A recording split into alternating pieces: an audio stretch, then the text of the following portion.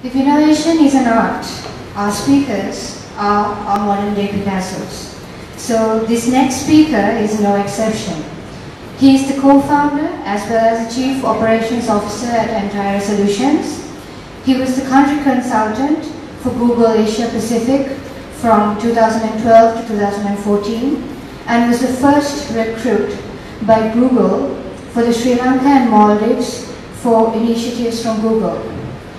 As the country consultant, he was in charge of all the engagements to and from Google for Sri Lanka, which included digital practice, policy framework, um, publisher, and video and telco partnerships, to name a few.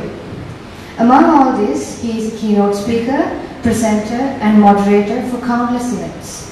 He was even invited to speak in the inaugural TEDx in Sri Lanka on the topic of entrepreneurship. Everyone, please welcome on stage the one and only Rohan Jayaweera.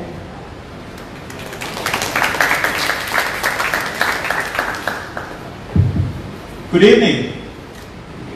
Wow. okay, let's do that again. Entrepreneurs, right? Money entrepreneurs, people who are going to make a dent, who are going to create products that are going to universe denting, paradigm shifting, earth shattering, brainwashing, right? So, good evening. Good evening. Better. So, uh, I've been given like 30 minutes, right? Uh, so, what I'm going to do is I'm going to tell you a little bit about uh, my, my journey and then uh, what I've learned and uh, the things I screwed up and things that really worked for me. Uh, then I want to open up for Q&A. Before that, like all of you are here because you want to be entrepreneurs? Yes? So by the way, I want to introduce Mr. David, who is my roommate at university. He and I go back a long, long, long, long, long years. Uh, looking at about 35 years of history here. And so good to see you. You know I love you, right? So um, uh, how many of you here want to be entrepreneurs? Nobody wants to be entrepreneurs? Okay, one person.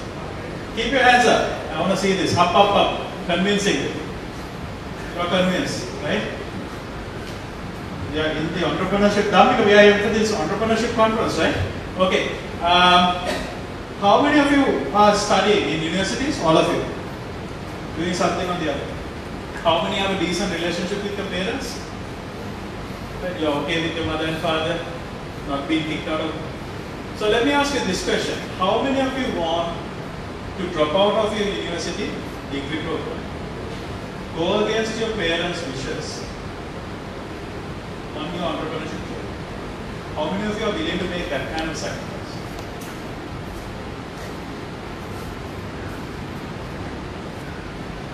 Now you are doubting yourself, no? Now you're thinking, does it really have to be that hard?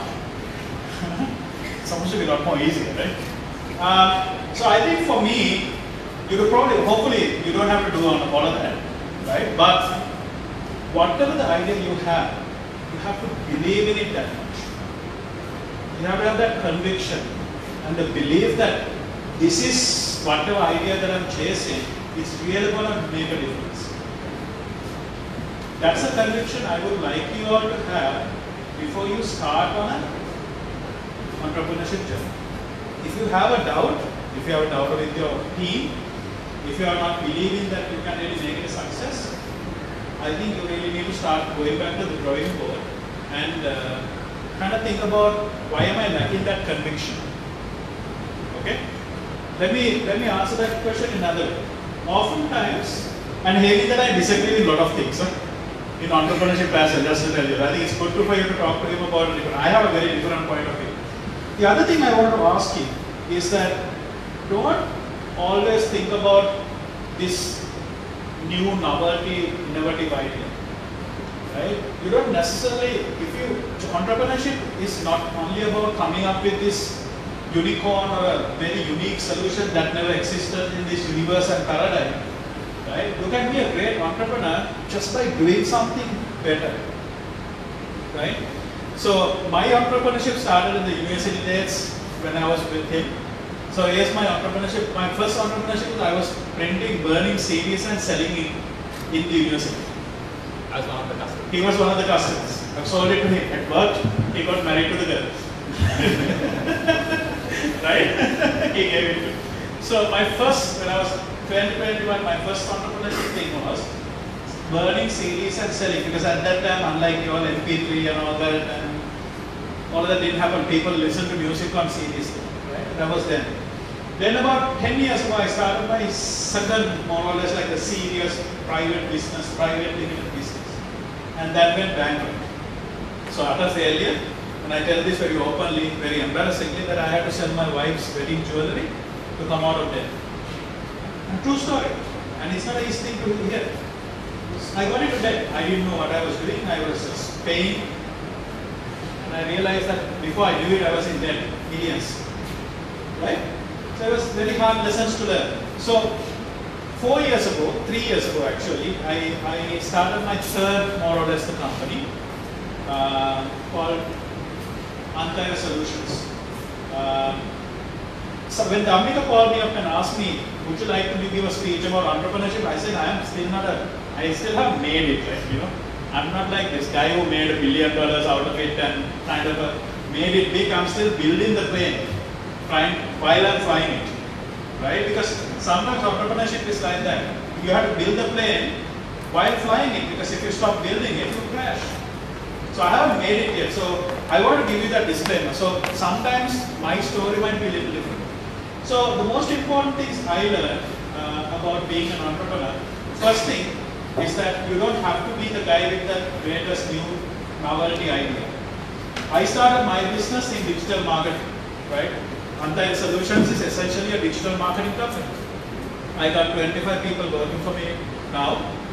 And then it basically served or serving is in a customer set that already been serviced by so many different companies.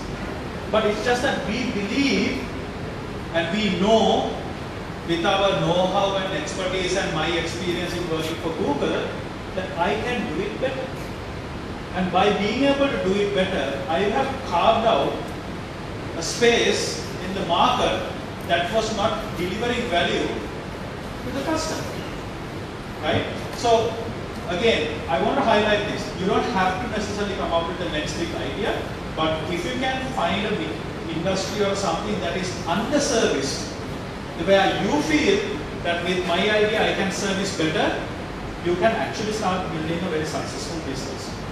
The first thing. The second thing I want to tell you is in terms of running a business. Now, all of you must be like about 25, less than 25. It's really important you find people who complements to what you know. Right? I am the sales and the business development and the flash guy. Honestly, in my company, I don't do shit. Right? Everyone knows. my business partner is a technical genius. He gets all the work done. What I'm good at is business development and sales. And that's what I do. You get what I'm saying? So it's really important when you are thinking about building a business, find people who are not like you, who are basically have opposite skill sets, different skill sets that is needed. So I am the upper, op, like I look at the balance sheet and the sales and all that in my company, I'm very optimistic. Oh, we can do great and great.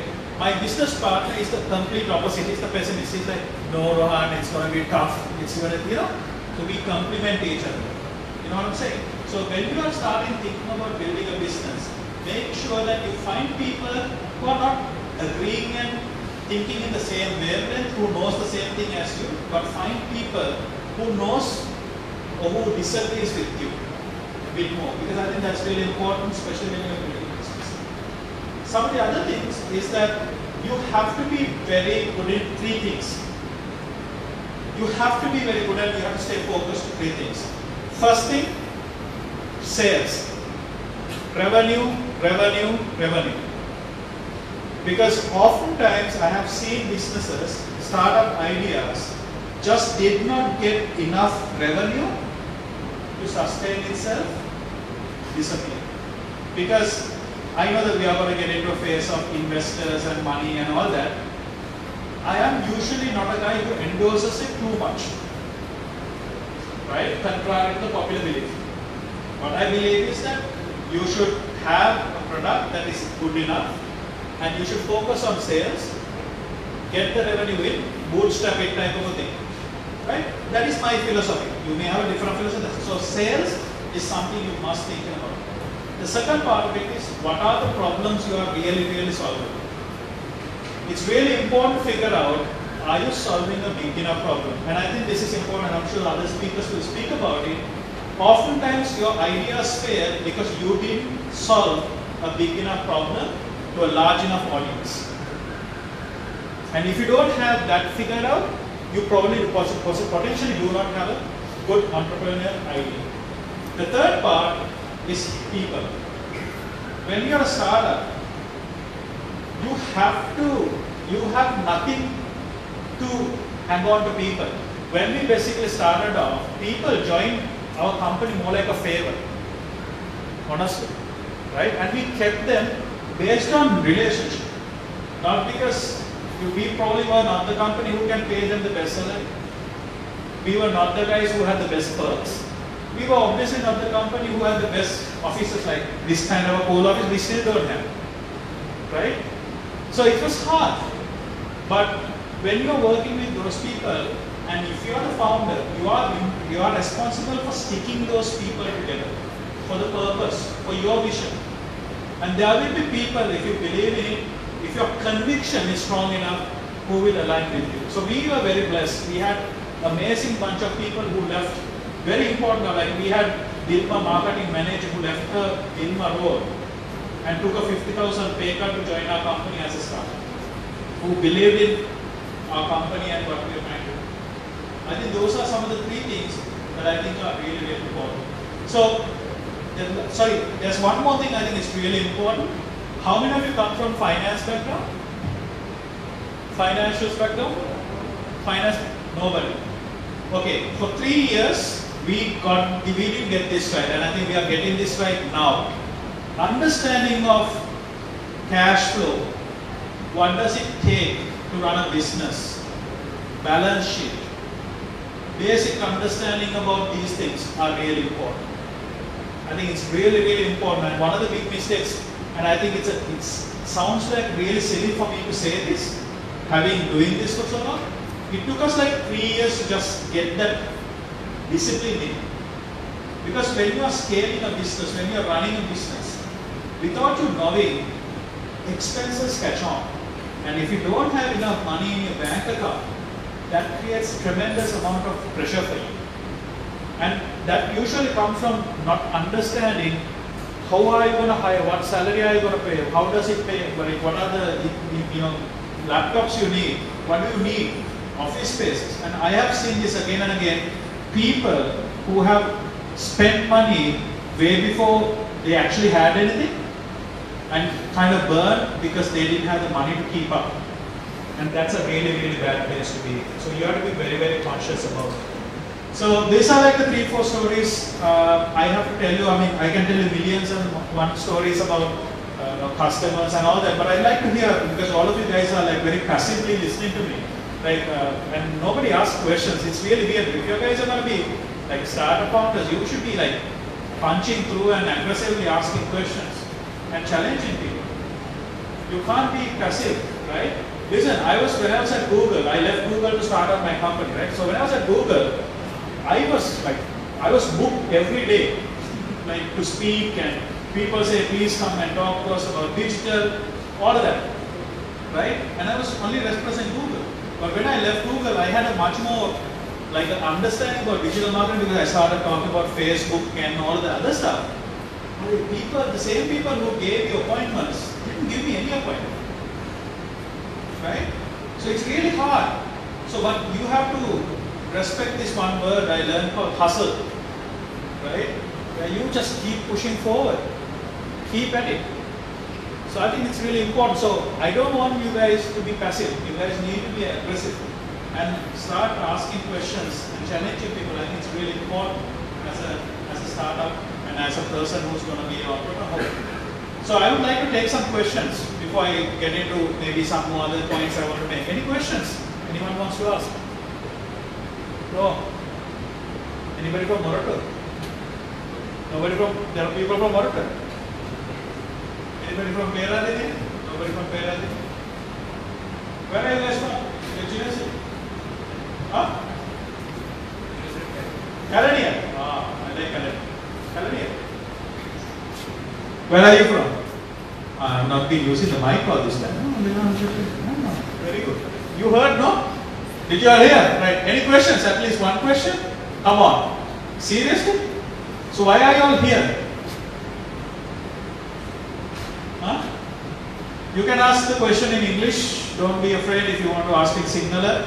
Unfortunately, it's my mistake. I am not very good in Tamil, but you can ask me any questions in any language. I'm happy to answer it in any way. Anyone? No questions? Right. Um, what else should I say? Um, so I covered about people, I covered about finance, I covered about sales, I covered about the idea. Okay. Um, how many of you are looking for investor kind of a thing to start the business? Anyone? Working with investors? Anyone? No one? You all still don't know? Anyone who has an idea about what you all want to do? At least? Have you thought about the idea? No? Wow, tough crowd. Probably the toughest I've seen. And then you should get at least one or two questions. No questions. Yeah, finally, I, if I had a gift, I would have definitely given it. Damika, tough crowd, how much are you giving me? What the hell, man? Like, yes, ma'am. This is me. Yeah. Uh, just wanted to check. Um, I'm a personal university student. I work with uh, a network of angel investors. Um, so one thing that I've seen is with undergraduates who are also working on entrepreneurship ideas and trying to get started. Um, one thing is how do they actually balance their studies and then also work on their startup? Is it more like a project that they're doing from an academic point of view or how do they take it forward? Because investors are a little bit uh, not too keen on investing in startups where there are university students involved because they can't commit time to it. So what's your take? Let me let me first give you my honest, brutal answer. Sri Lanka is not ready for entrepreneurship.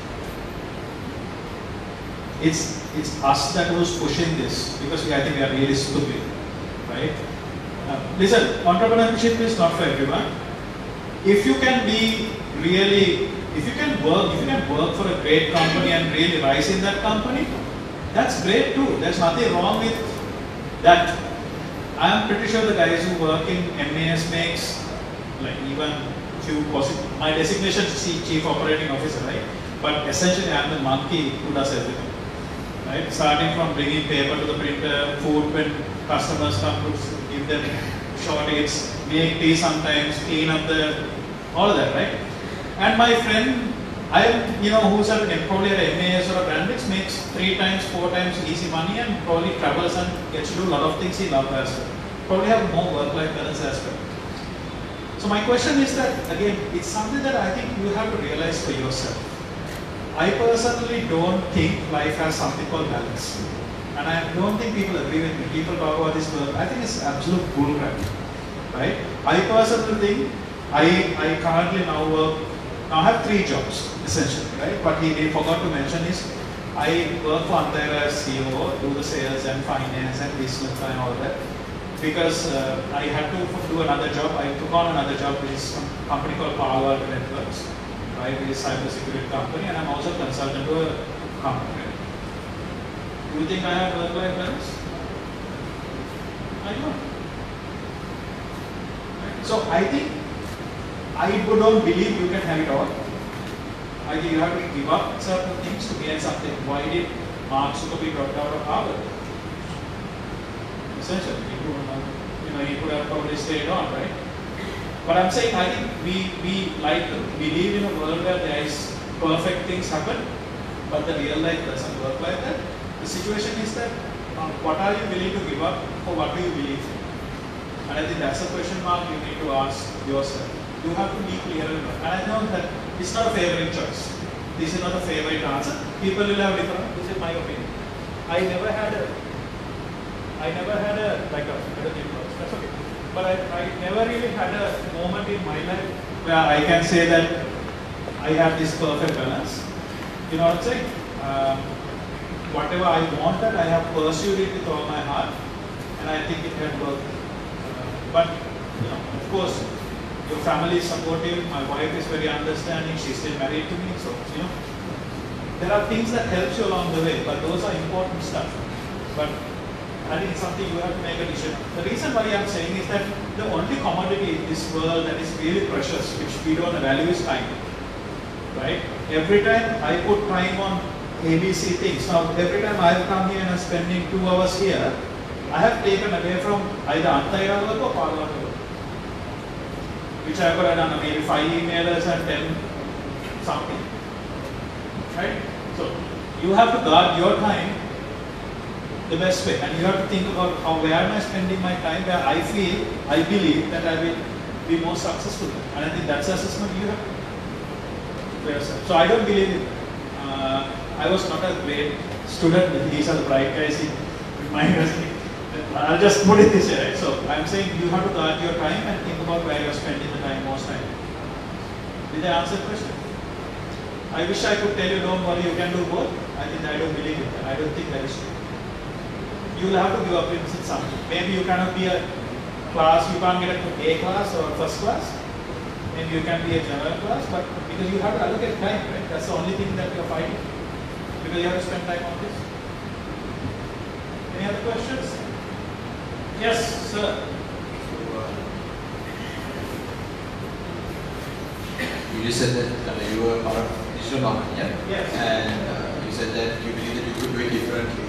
Yeah. And you said there are other digital marketing peers rather you're not doing marketing. Yeah. So why is it that you do it different? Because I can't understand. Why do I do it? Why do you do it different? You are the freaking rock stars in digital marketing. Simple. no, no. Listen. Ours is driven by intellectual property. So digital marketing, if you look at it, primarily has two components. People who does a lot of creative work, people who does a lot of data and analytics driven work. We belong into the data and analytics driven space. That means looking at you know mathematics like how does it work, how can I spend two dollars here and generate ten dollars there. Right? There are a lot of digital marketing companies who does like create creatives on Facebook and videos and all. We are probably not as strong there. We want to be good at it, but we are not there. But where we really dominate is like if you say I want I'll, I'll give you hundred dollars, generate three thousand dollars. That's probably where we will be the best. There could be other companies who are equally good, but I think we package it well and sell it well. Because remember, it is not only about that you are good at it, but it's also about being able to convince the customer to choose you over others, right? Competition will always be there. And there will always be guys who are better than you or worse than you. That's part of the game. But the situation is that among that landscape, how can you win? Right? Listen, if we were believing in the greatest technology, my firm belief is that Windows should have never dominated the world. It's probably the happiest product ever.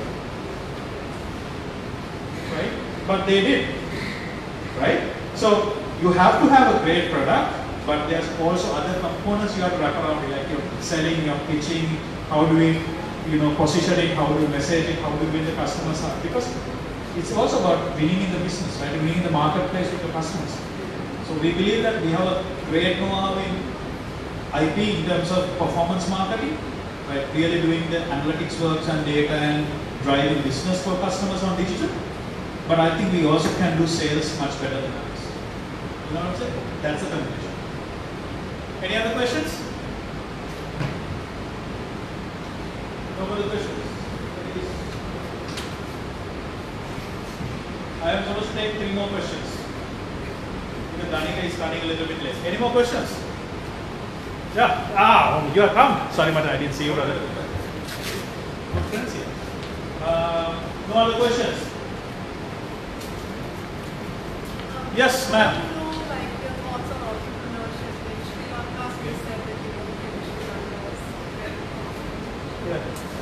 I, what I say, what I say, I don't believe in. I don't believe Sri Lanka is entrepreneurship ready. We want it to be ready, and we a lot of people are pushing hard for the last, I think, six, seven years. But uh, the, listen, right? I'll give you a simple answer, right? What does as an entrepreneur, what is your biggest problem? Your biggest problem is money, right? Because you, you have to scale your business up to a level before it can sustain itself. So someone needs to handhold it up to now, right? I don't believe that the ecosystem around money, I'm not talking about investors alone, right? But the financial institutes, appetite for startups, how they measure risk and all that, that mentality has really evolved uh, in the market. Um, I mean, I, I struggled a lot. I bank with, uh, I shouldn't mention the name? Right? I, I bank with a, a company, uh, a bank in Sri Lanka, one of the leading banks, supposed to be recommended. I asked who's the best bank, who's friendly, who's supposed to give us a, you know, sudden overdraft if I needed to, all of that. And, uh, and I think, uh, I mean, after doing business with them for two and a half years, I struggle a lot. Uh, it just doesn't happen that. It's not that easy, right? And then what you do is that you are, and the other part I forget to mention this is that Danica will agree, customers never pay on time. Never, ever, ever in Sri Lanka pay on time. Right? I mean, the biggest customers pay the last. Like they delay your payments like six months. It's almost like you have to beg. I have a two people. I have two people in my company who are just not doing anything. They're just following up on payments. That's it. And it's one of the worst things in the world in Sri Lanka. And some people just take the uh, service, never pay. Right? So these are the challenges for you because especially when you are running a business, what you need is you have to pay salaries every month, you have to pay expenses every month. And if you don't have the money for the services you deliver coming in. So that is a unique problem for me because I'm a services related business. Maybe for a product business, maybe for a subscription type of a product business, it could be different because you might take the money upfront. Then that will be different. But I know for a fact that anywhere if you have customers who owe you money, it's really hard to get in this country. And that's one of the biggest. So that is one of the reasons why I say it's really hard. The second part of it is that I think from a taxes standpoint, just because you're a startup, you don't get any benefits in the market, in the country. Right? Uh, Sri Lanka, we don't have that structure where, I mean, we still have to pay the taxes as if we are any size company. There's no real benefit for you. Like, for, what is the, I'll give you a simple one. What is the tax related Sri Lanka where you have to pay, start paying VAT? If you're making, I think last time I checked, when we registered 3.75 million a quarter. So if you're making 3.75 million in Sri Lankan rupees for three months, you have to start paying taxes, VAT and all that type of thing, right? And I think it's it's it's really it's really hard when you start getting into that because I would have expected a bit more benefits in that area from the government. So these things are not in place. But you know, saying these are the one thing, one last message, you can never, ever, ever, ever complain about how bad things are.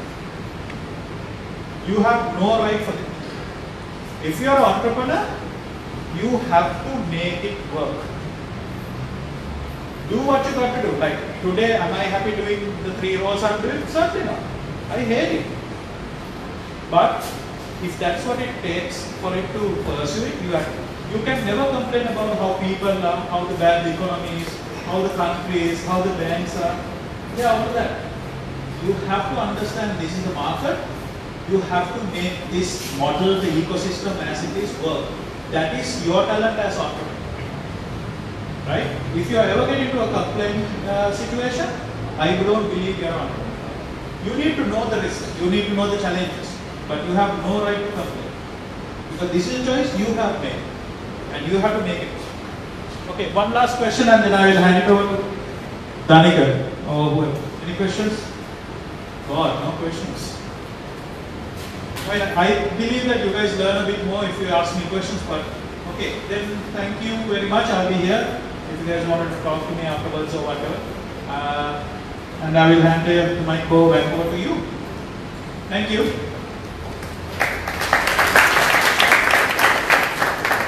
Thank you.